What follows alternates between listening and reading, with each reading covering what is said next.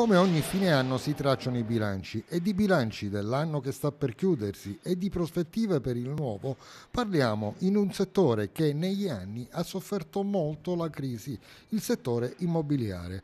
Quello che balza subito all'occhio è la conferma di un buono stato di salute del settore.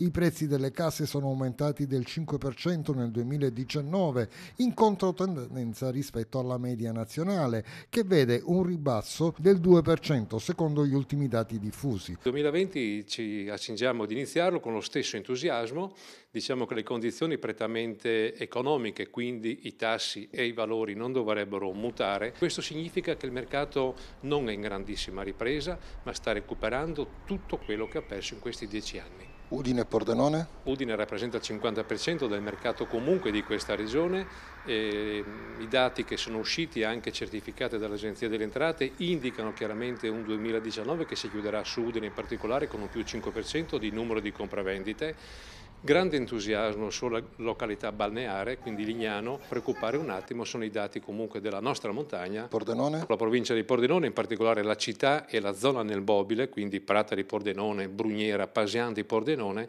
in questo momento stanno vivendo dal punto di vista dell'aumento dei prezzi un momento molto importante, molto significativo, questo dettato principalmente dall'aumento della domanda legata sicuramente anche alla base militare di Aviano. E anche per i mutui i tassi di interesse non sono mai stati così bassi e non si prevedono a breve rialzi.